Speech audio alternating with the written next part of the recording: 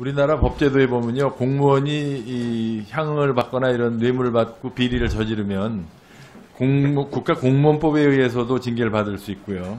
지금 청탁금지법에 의해서도 처벌을 받게 돼 있는데요. 이 부과하는 과태료나 이 벌금이 좀 기준이 달라서 사각지대가 생겼습니다. 예를 들자면 어, 2017년 5월에 그 지방공무원 A모 씨가 청탁금지법을 위반해서 직무 관련자로부터 73만 원가량의 향응을 받았는데 이거를 국가공무원법에 의해서 징계부과금 73만 원을 그냥 부과하고 처벌을 했어요. 예. 그러니까 73만 원 받아먹고 73만 원 토하는 걸로 끝났단 말이죠. 그게 지금 국가공무원법의 징계부과금 규정입니다. 어, 그 이유는 그 국- 징계부과금을 다섯 배 이내로 부과할 수 있다 이렇게 돼 있어가지고 이 징계를 할 때 한 배 벌금을 매깁니다. 그래서 먹은 만큼만 토하면 되게 돼 있어요.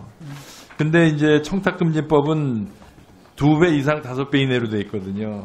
그런데 더 어, 이상한 거는 이게 징계부과금이거나 청탁금지법에 의한 과태료 처분이거나 이쪽 그 징계부과금 국가공무원법에 의한 징계를 먼저 받으면 이것이 우선하게 돼 있어요. 그래서 자료에 보시다시피 예, 지- 2017년 1년 동안에 어, 징계부과금의 16건으로 해서 과태료 처분을 비껴나간 그 사각지대가 생겼습니다.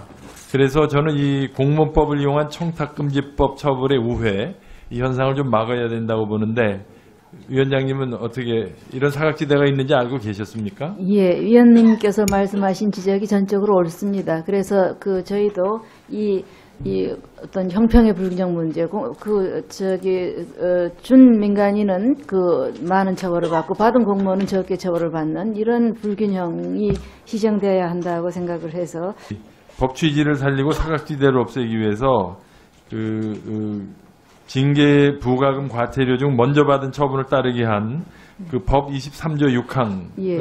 삭제하는 그 법 개정안을 예. 지금 준비 중에 있고 대표 발의하려고 합니다.